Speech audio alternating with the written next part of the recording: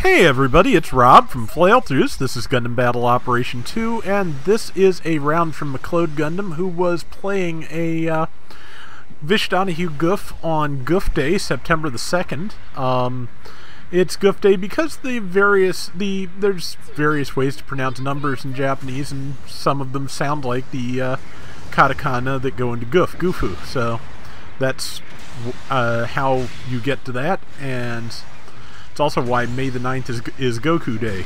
5 is Go, 9 can be Ku, among other things. So yeah.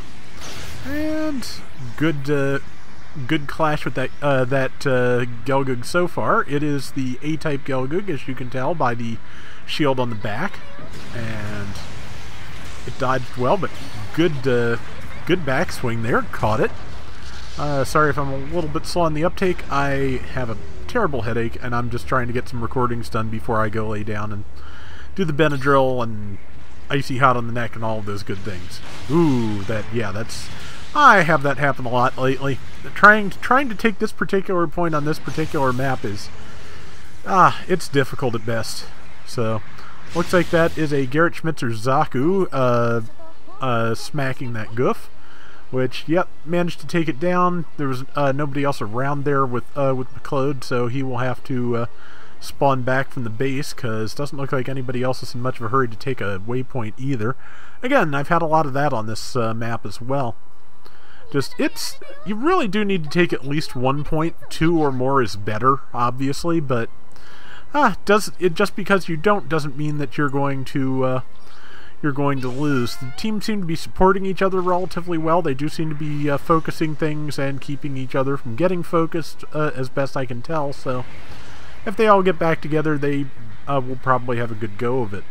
They're already ahead by 500 points. Uh, McLeod's going to take that. Okay, 1,000 points.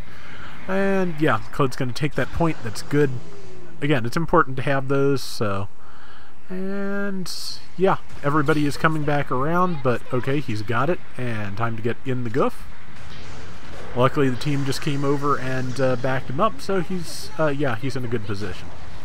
And they've got, let's see, his team's got two raids, a uh, Gouf Custom and a uh, Zaku Flipper, so that should be interesting. That, of course, is Hy-Gogg, which has gotten a bunch of buffs, didn't quite land the uh, stab.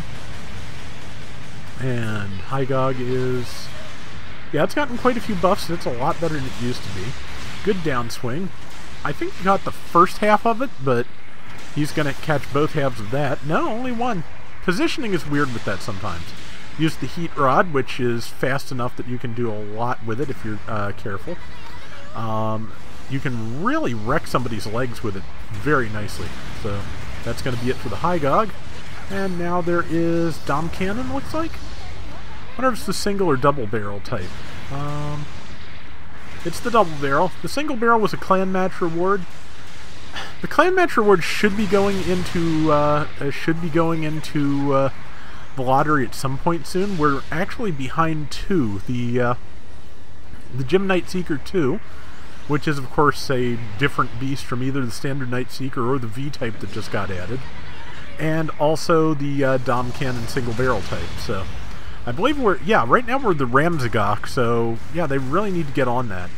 And now, rest of the team's mostly dead, but he's managed to catch them at a choke point really well there.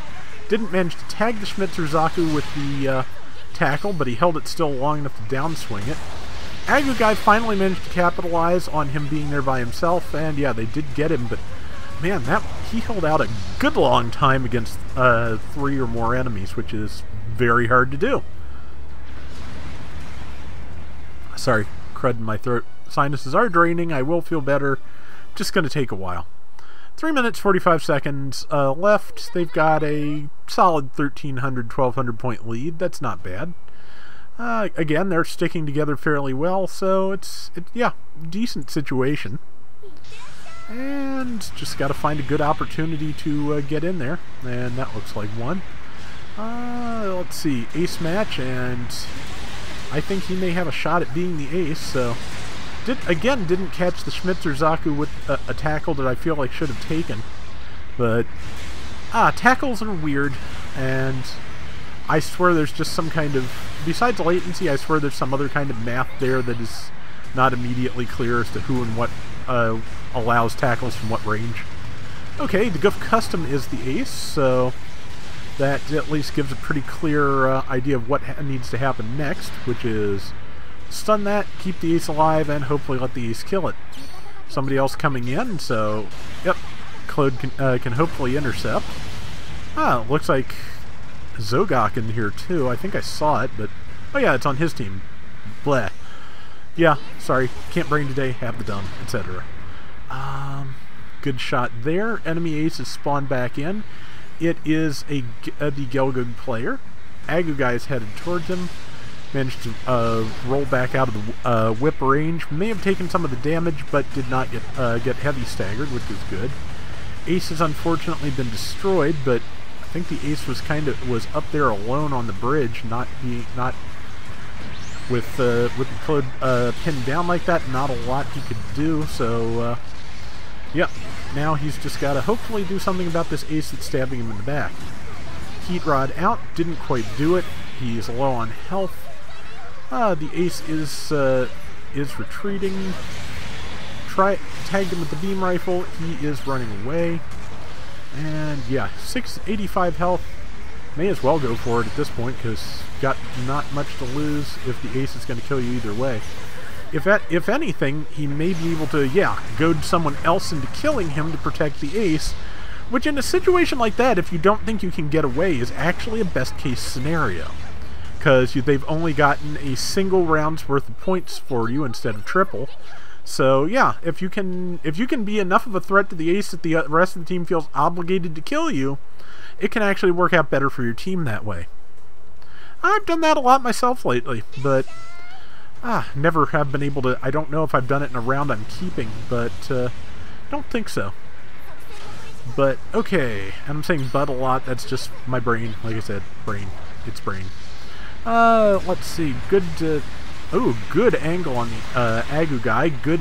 A good slight repositioning to get uh, a, so he would uh, back so he wouldn't knock the ace over yeah, really good stuff going on here.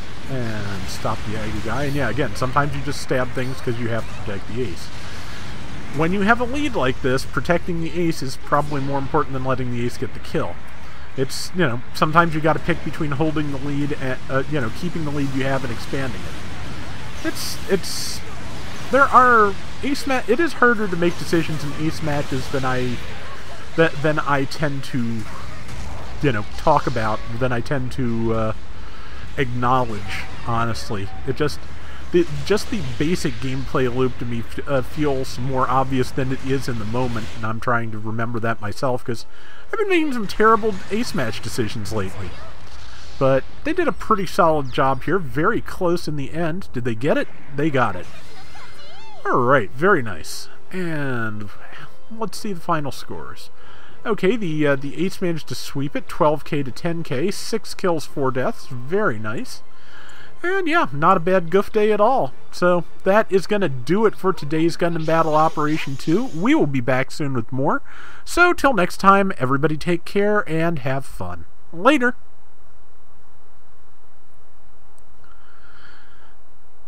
I think I mentioned recently that the uh, uh, MS in Action designer who was behind most of the figures and behind the extended line in particular, is on Twitter. And they were saying recently, while show on Gouf Day, while showing off the prototypes of the uh, extended MS in Action Gouf, that actually started uh, its design life as a Gouf second version, uh, like the other second version things we gotten before, and it just got grandfathered into the extended line with an upgraded paint job uh, once the uh, product once development on the uh, Mark II uh, started in earnest, which was the first thing developed as an extended MS in action. So, again, just interesting stuff to learn, especially if you really liked that line as much as I did. So, yeah,